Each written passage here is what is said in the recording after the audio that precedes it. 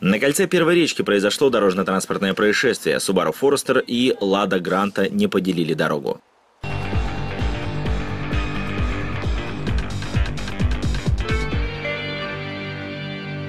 С первого взгляда может показаться, что водитель Subaru Forester, поворачивая с кольца в сторону инструментального завода, не рассчитал габариты своего автомобиля и зацепил припаркованную Ладу Гранду.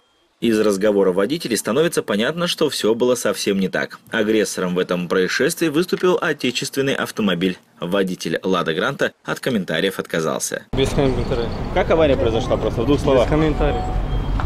Водитель Subaru Forester был более словоохотлив, пояснил, что авария произошла по вине водителя седана. Ну, я ожидал красный сигнал светофора был, впереди была машина, остановился, ну а человек немножко сдал задом. Вот и все. Что говорит, не увидел? Ну, не посмотрел в зеркало, говорит, не увидел. Судя по многочисленным повреждениям на кузове Лады Гранта, ее водителю не привыкать попадать в передряги. Однако крепости российского автомобиля можно позавидовать.